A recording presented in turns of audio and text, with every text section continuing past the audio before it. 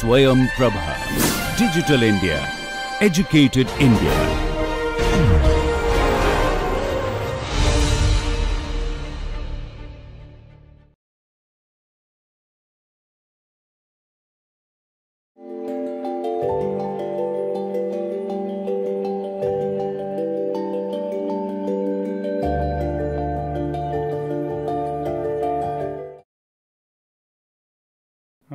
Welcome to lecture 40.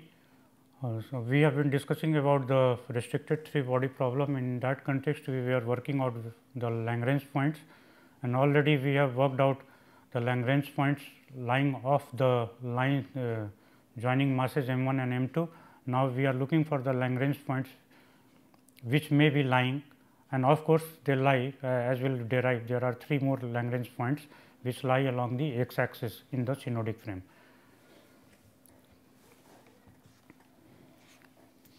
So, to work out that, so finding collinear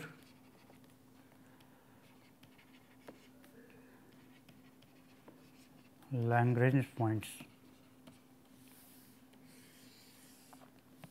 So, we have the conditions already we have obtained z equal to 0 and y equal to 0. This corresponds to corresponds to collinear solution. So, under that condition now we have r 1 square equal to r 1 2 square because uh, okay uh, moreover uh, see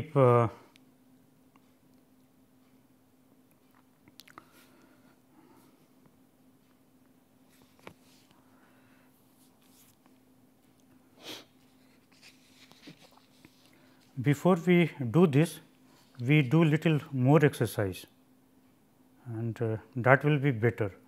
Uh, we first look into the before we finding the collinear Lagrange points let us also work out the coordinates of the of off terms of uh, Lagrange points. First we find first we find coordinates of the of x axis Lagrange points which is uh, still not done on the uh, normalized scale. Already we have done. Okay if this is r 1 so you know that this coordinate how we are calculating this one and this one. This is y and this is x. Already we have worked but in a formal way also we can get it and it will be good to look into this aspect also. So, we do it first. So, x minus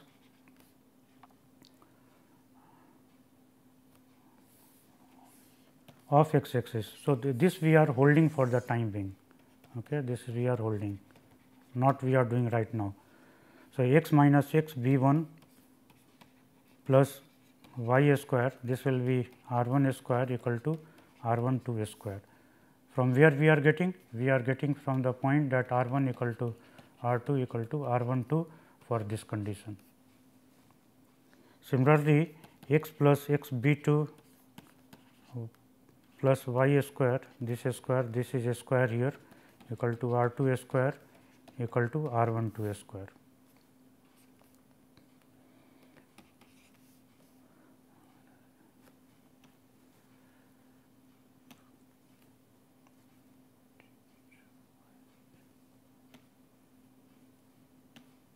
We write this as k and this write as L.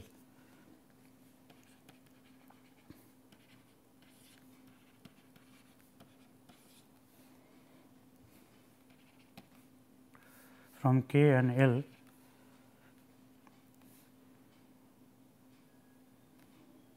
if we subtract, so we get immediately we can check that x minus x b 1 square this will be equal to x plus x b 2 square and this implies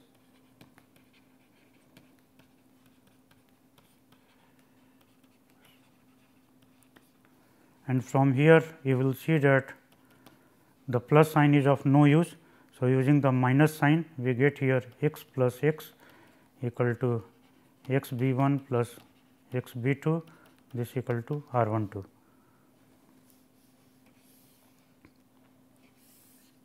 So, we have here 2 x equal to r 1 2 and x equal to r 1 2 divided by 2 which is very much visible.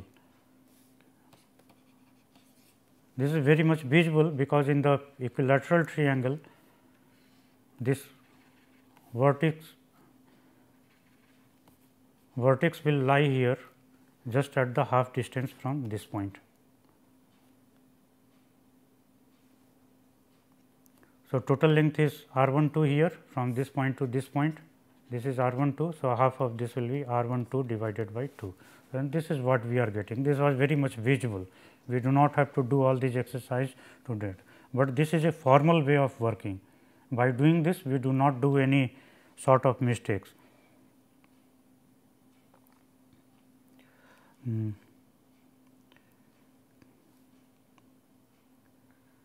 Minus sorry this we have uh, already done a mistake here. Uh, we are looking for the x coordinate. So, x coordinate we are measuring from here not from this place. Okay.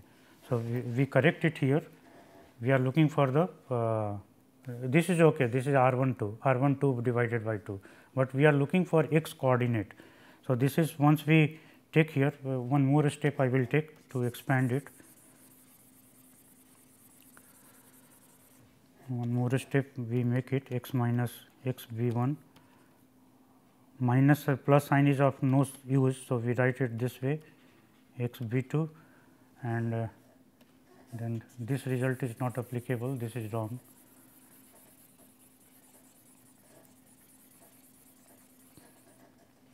Okay, from here we get here 2 x equal to x b 1 this is plus x b 1 minus x b 2 or x equal to x b 1 minus x b 2 divided by 2.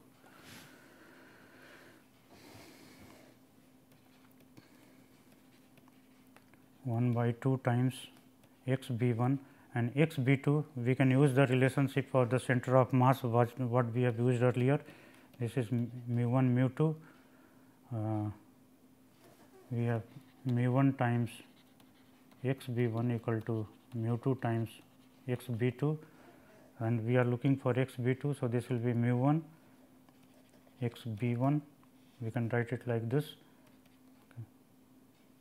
and this is 1 by 2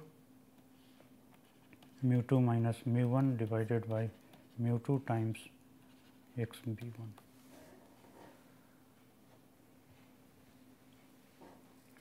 Okay, and x b 1 already we have derived earlier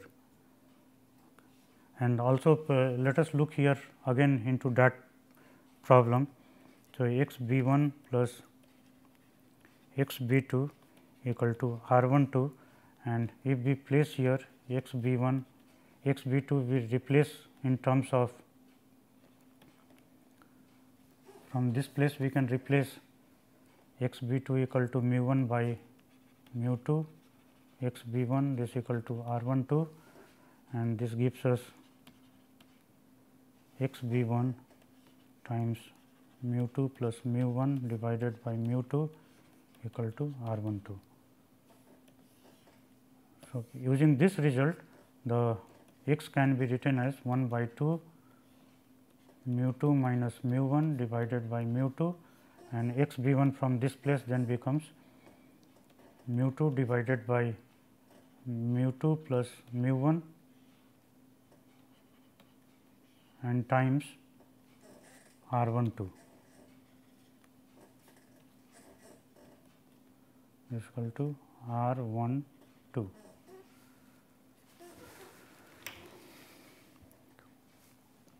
So, this implies x equal to mu 2 minus mu 1 divided by mu 2 plus mu 1 times r 1 2 divided by 2. So, this is the result for the x coordinate and we have got it very systematically. Earlier what we did that the x coordinate will be simply because this distance is half here, this distance is half. So, 1 by 2 and this distance is mu. So, 1 by 2 minus mu star we, we wrote it and we got the x coordinate, but here in this case we see that how we are getting this result.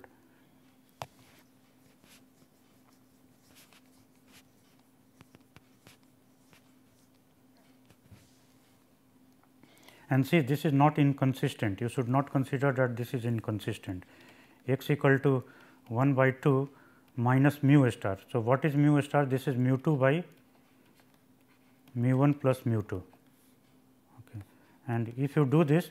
So, this gets uh, mu 1 plus mu 2 minus 2 mu 2 divided by mu 1 plus mu 2 times 2. So, th this you get as mu 1 minus mu 2 divided by 2 times mu 1 plus mu 2. So, this is your x. So, in that case what you are doing you are not taking into account the sign here this will appear all with the sign. This is the difference you can see here this is mu 1 minus mu 2 and here it is coming mu 2 minus mu 1. So, it is just a sign problem if mu 2 is greater than mu 1 that means the masses m 1 and m 2 are there. So, if this mass is heavier than the mass m 1 okay. So, in that case x will be positive. So, here barycenter is located in this place and what we have done we have shown this x along this direction and y s we have shown in the downward direction.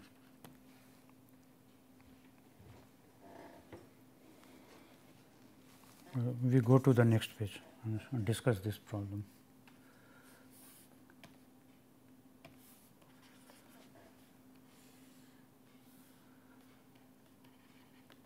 This is m 1 or equally we have written as mu 1 or equally we have written in terms of this is 1 minus mu star this mass. And this point we have taken as b. And this point we have taken as m 2 or mu 2 or we can write in terms of mu star. Okay. and this distance we have indicated as mu star. This distance as 1 minus mu star and this whole distance as r 1 2 if on the normalized scale as 1. Okay. So, if mu 2 is heavier, so we are looking for the x coordinate of mass m. Here this is the mass m, the third mass. So, where the x coordinate will lie. Okay. So, as you can see from the previous page, if mu 2 is greater than mu 1, I am uh, marking it with this blue ring okay. well, let us copy this on the next page x equal to mu 2 minus mu 1 divided by mu 2 plus mu 1 times r 1 2 divided by 2. So, if mu 2 is greater than mu 1, so what happens? The x is greater than 0. That means, the coordinate of this mass which we are writing as x y. So, in that case if M 2 is heavier.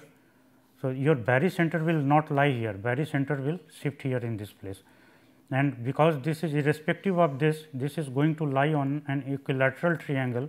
Therefore, you can see that this direction we have taken as positive x direction, this is positive x direction. So, that means your x coordinate for this x is going to be greater than 0, which is you are getting here in this place. If you reverse the thing, if mu 1 is greater. So, in that case you can see that this is barycenter will be here and then this x will be negative because this is opposite to the x s direction x x s is negative here in this direction this is less than 0 negative direction of x. So, it is a consistent here what we have got this result is magnitude wise.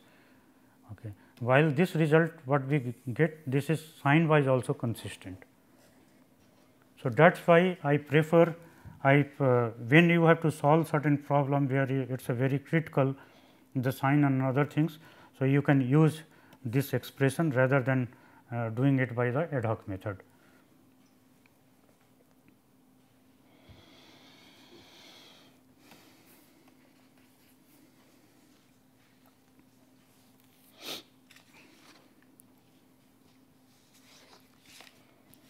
Okay. Now, y coordinate also uh, y coordinate is easy because as we know that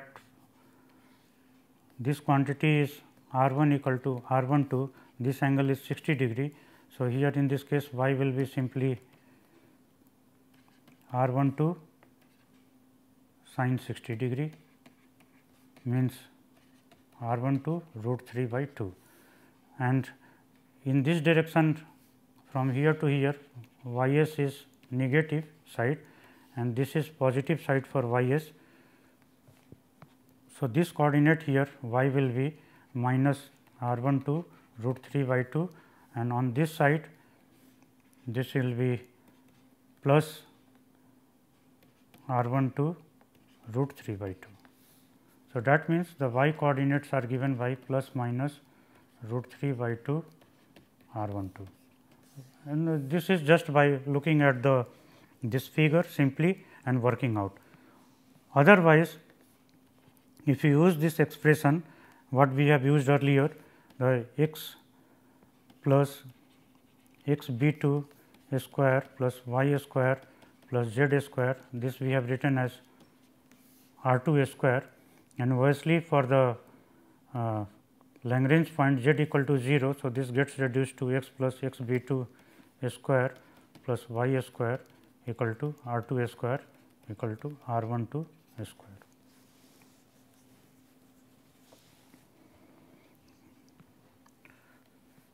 And therefore, from here we can write y square equal to r 1 2 square minus x plus x b 2 square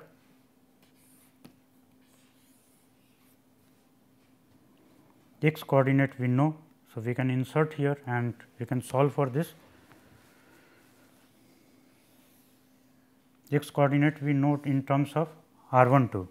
Okay. So, therefore, y square is equal to r 1 2 square minus x is mu 2 minus mu 1 mu 2 minus mu 1 divided by mu 2 plus mu 1 r 1 2 divided by 2 and then thereafter we have uh, plus x b 2 and plus x b 2 we have to replace. X b 2 also we have worked out somewhere.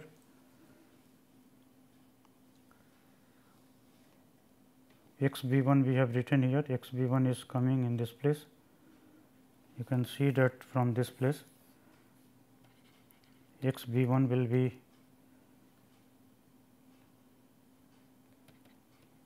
mu 2 r 1 2 divided by mu 1 plus mu 2. So, along the same line you can write x b 2 will be r 1 2 minus minus x b 1. So, you get this as mu 1 by r 1 2 divided by mu 1 plus mu 2. So, we can insert it.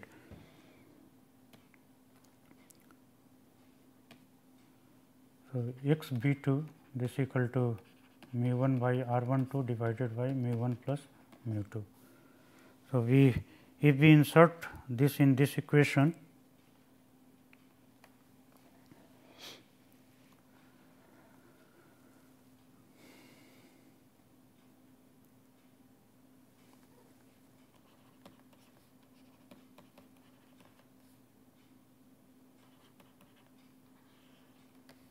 r 1 2 this is square.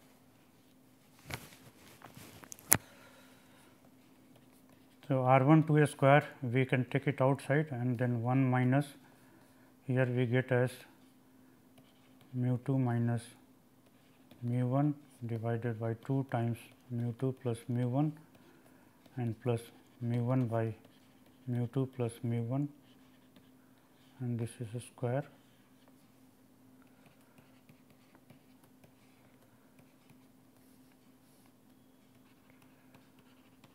this is not just a theoretical exercise, this is for proper understanding of how we go on solving the problem in a systematic way. Okay. This will help you solve the problems. This is 2 mu 1 divided by mu 2 plus mu 1 square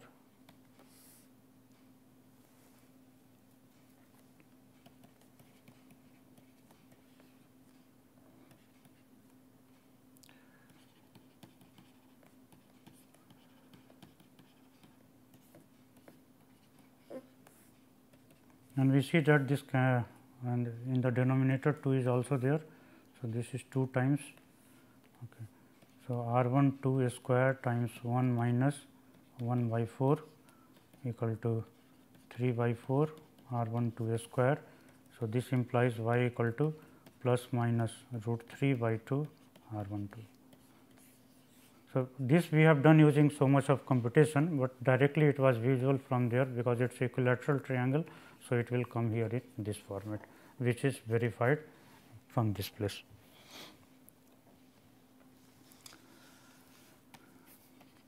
Thus, the x y coordinates it can be written as r 1 2 divided by 2 mu 2 minus mu 1 divided by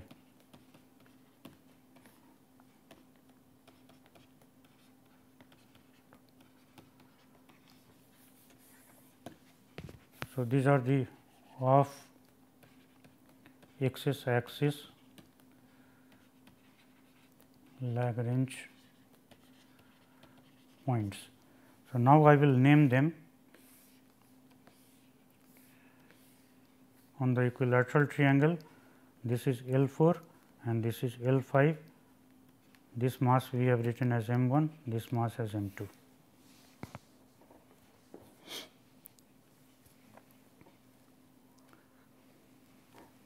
And these are the two equilibrium points where the mass m can if you put so the synodic frame it will appear to be stationary.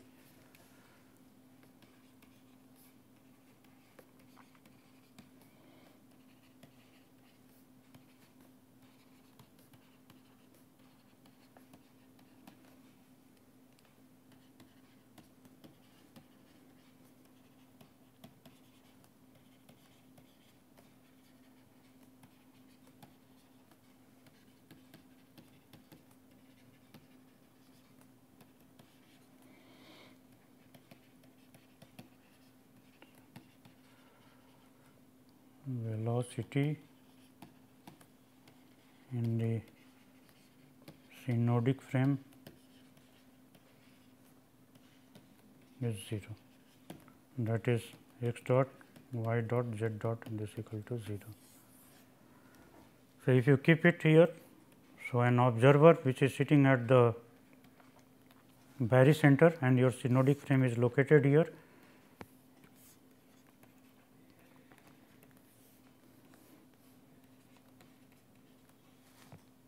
So, to this observer okay, here in this case uh, we are discussing about the Lagrange points. So, we need not take this part otherwise this will confuse. So, y s will now will indicate along this direction this is y s direction. So, to an observer who is sitting here in this place and rotating along with the synodic frame to him this mass m will appear to be at rest all the time. Now, we go into the uh, collinear solution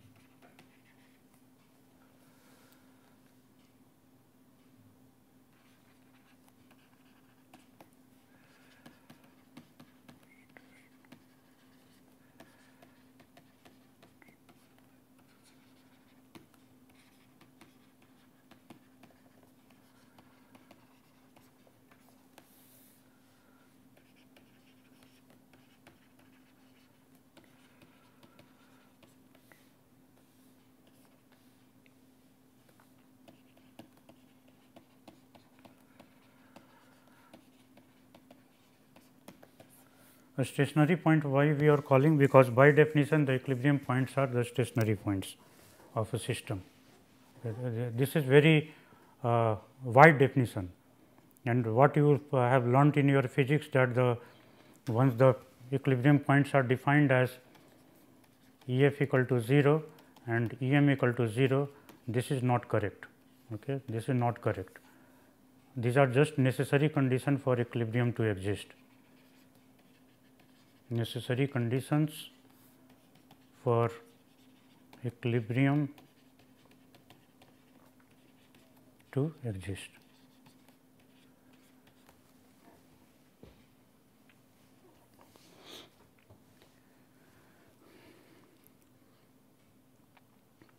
So, what we will do that uh, because uh, of phrase we will be doing this problem of phrase.